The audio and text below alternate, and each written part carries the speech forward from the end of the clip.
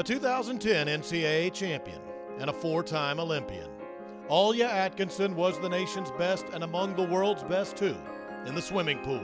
She's somebody that wants to get better, uh, willing to work hard to get better.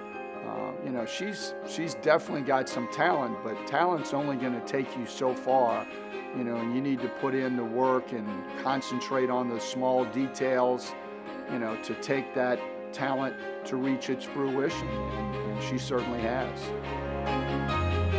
Throughout her four years at A&M, Atkinson received 19 All-American honors.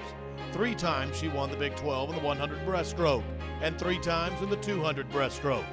She also notched four more Big 12 titles on relays. As a senior, she became Texas A&M's second NCAA champion after winning in the 100 breast. After A&M, she set world records in both the 150 meter breaststroke. Her four Olympic Games representing Jamaica spanned from 2004 to 2016.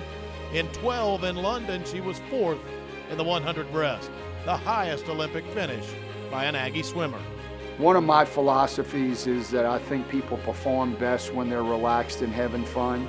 Uh, and, you know, I think she buys into that, uh, you know, and I think if you look at, you know, here she is now, 30s, early 30s, and she's still competing. You don't do that if you don't still enjoy what you're doing and are having fun with it. An athlete's highest honor is to represent their country in the Olympics. And for how she's represented this university, we bestow our highest athletic honor onto her. Ladies and gentlemen, Hall of Fame inductee, Alia Atkinson.